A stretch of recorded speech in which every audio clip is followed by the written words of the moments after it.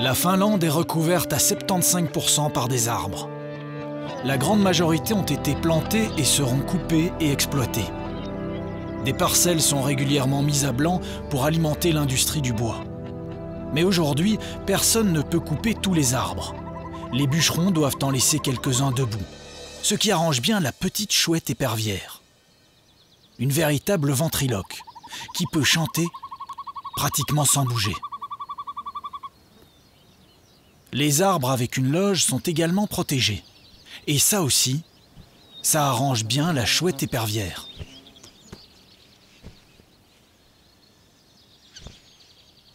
Quelques secondes plus tard, elle ressort déjà après avoir alimenté ses jeunes.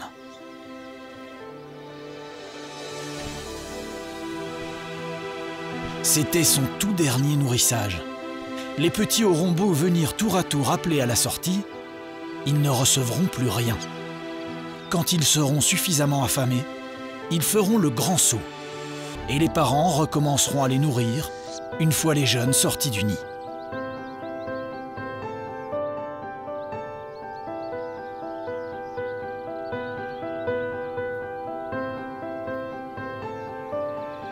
Après une coupe à blanc, les premiers arbres à repousser sont généralement les bouleaux. Avec leur écorce blanche et noire, ils créent une ambiance toute particulière autour du nouvel affût dans lequel nous nous sommes installés. Après avoir vu les ours de loin, nous tentons une nouvelle installation qui nous donne rapidement la possibilité d'être beaucoup plus proche des ours. Quel spectacle incroyable quand même de ces ours et ces deux oursons qui sont à moins de 10 mètres de l'affût. Ils ont attendu que le soleil baisse un peu, qu'il fasse un peu plus frais pour ressortir. C'est l'occasion de voir deux des caractéristiques incroyables des ours bruns. C'est qu'en fonction de leur habitat et de l'endroit où ils vivent, ils sont de taille très très différente. Puis même de couleurs très très différentes. Dans la même fratrie, on voit que la mère est brun chocolat, qu'il y a un des jeunes qui a des poils très foncés, presque noirs, et l'autre qui a des longs poils pratiquement beiges.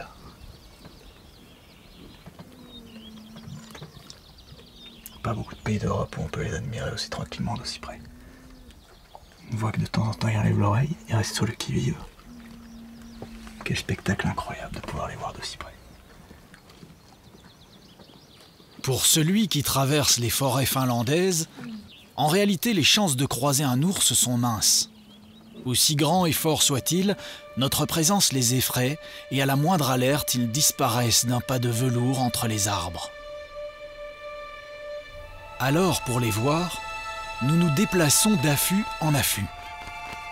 Parfois, l'équipe est un peu à l'étroit, passant la nuit dans une cabane de jardin. Celle-ci est équipée d'une cheminée. Pas besoin de chauffer en cette saison, mais de créer un courant d'air pour extraire les odeurs vers le haut. Si nous prenons autant de précautions, c'est pour tenter d'apercevoir le glouton, dont l'odorat est paraît-il redoutable. Mais ça ne se passe pas toujours comme prévu.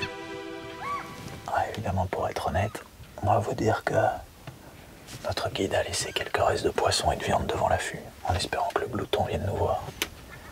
Mais pour le moment, c'est plutôt les goélands qui viennent tout manger. Puis y a aussi un piquet de pêche qui traîne et qui vient se servir dans la viande et dans le poisson. C'est étonnant. Pas un seul glouton. On espère qu'il arrive avant que les goélands n'aient tout dévoré. Une fois le cortège des piques-assiettes passé, il faut attendre. Et encore attendre. L'acteur principal entrera en scène quand ça lui plaira.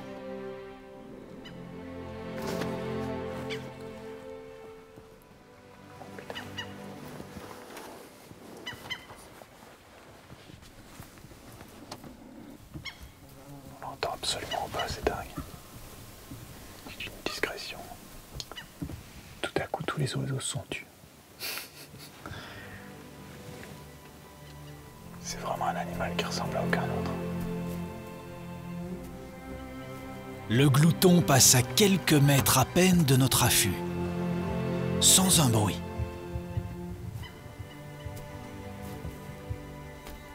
T'entends quelque chose, toi, au son?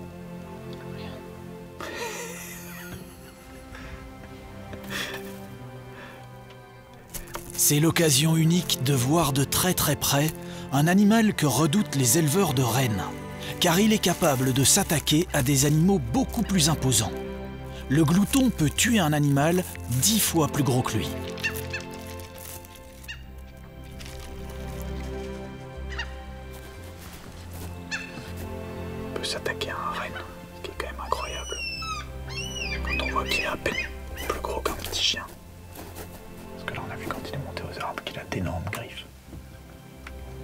C'est lui la terreur du Grand Nord. Ici, c'est surtout un opportuniste qui vient récolter ce que le guide avait laissé devant notre affût. Puis le glouton repart, aussi discrètement qu'il était arrivé.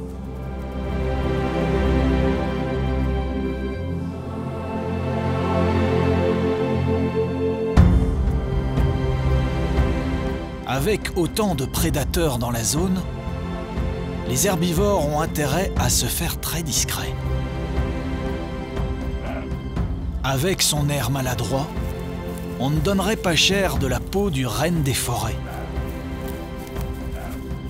Pourtant, avec ses sabots tout-terrain et son endurance, il est capable de courir sans s'arrêter pendant des heures entre les arbres et d'échapper ainsi à n'importe lequel de ses poursuivants.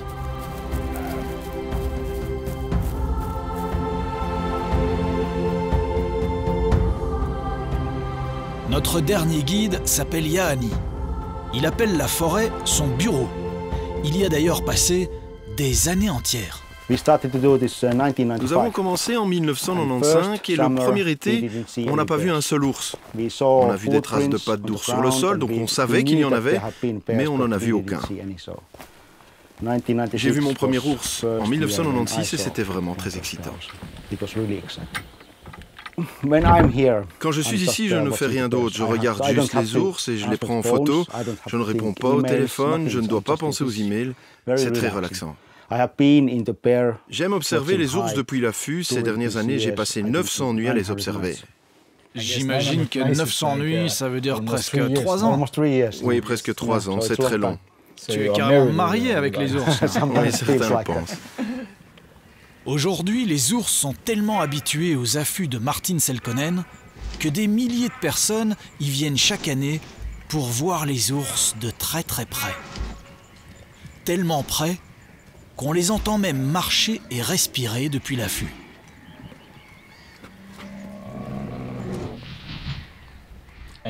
Et tu reconnais euh, chacun des ours?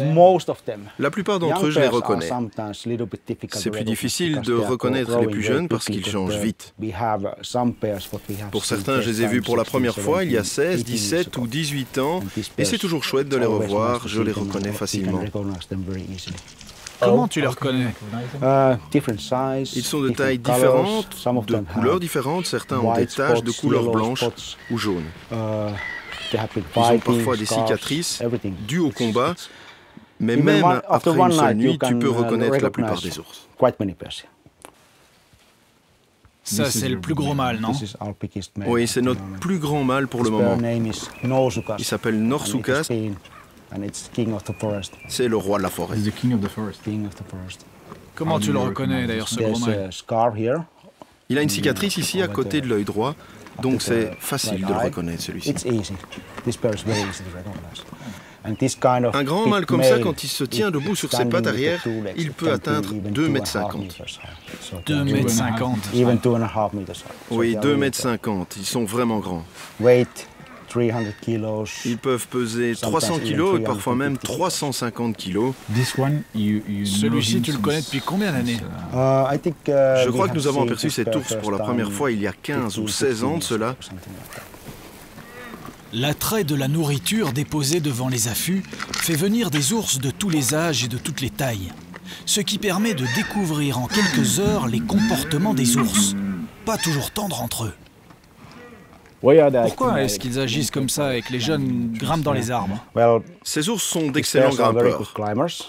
C'est important pour les jeunes de grimper aux arbres parce que c'est l'endroit le plus sûr pour eux. Si jamais il y a un incident, si quelque chose arrive, alors ils montent vite aux arbres. Ils ont peur de quoi en fait um, les grands mâles, d'autres ours, à certains endroits les loups et les humains. Donc la première réaction des ours quand quelque chose arrive et que ça les surprend, ils s'enfuient et grimpent aux arbres.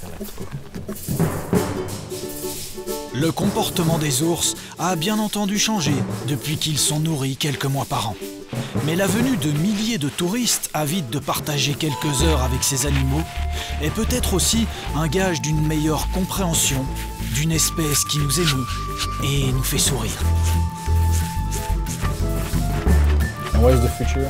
Et c'est quoi le futur des ours en Finlande? Uh, Très bon pour le moment. La population augmente encore doucement. Um, et ça c'est chouette. It's, good at the moment. Very good.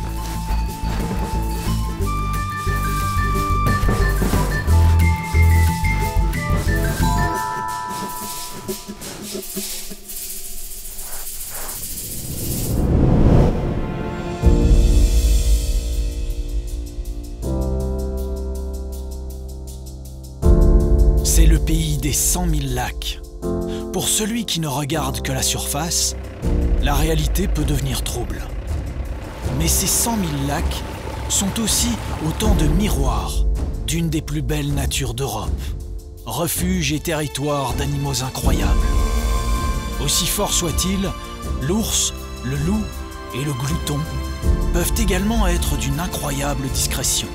Seuls ceux qui patientent au rythme du sauvage auront peut-être la chance de croiser leur regard.